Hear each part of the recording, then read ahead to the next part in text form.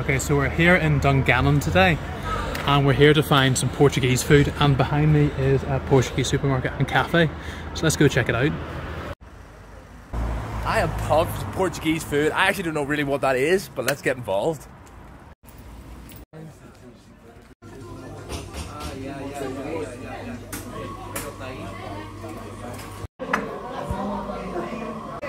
So here we are in the Portuguese cafe. I think it's very quaint, it's very nice. I grabbed myself a wee pastel de nata. It's one of the few words I know in Portuguese. I'm, excited to try it out. It looks powdery.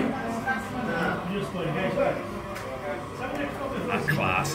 So I've got um, espresso here from the Portuguese cafe and I have to admit we are the only people in here who do not speak Portuguese as the first language. It's an amazing wee shop, really hard to find, but clearly everyone who needs to know about it knows it's here.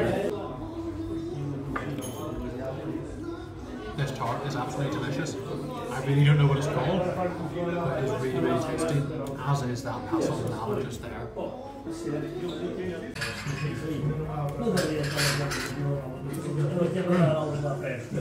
That was fantastic. Absolutely creamy and delicious.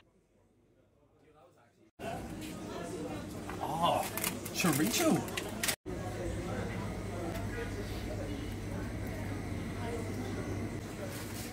Pleased we found in there. That's somewhere completely different. Though I think unless you're Portuguese, you do not know that place exists. It's out the back of a car wash for God's sake, but it is amazing and you've got to try it.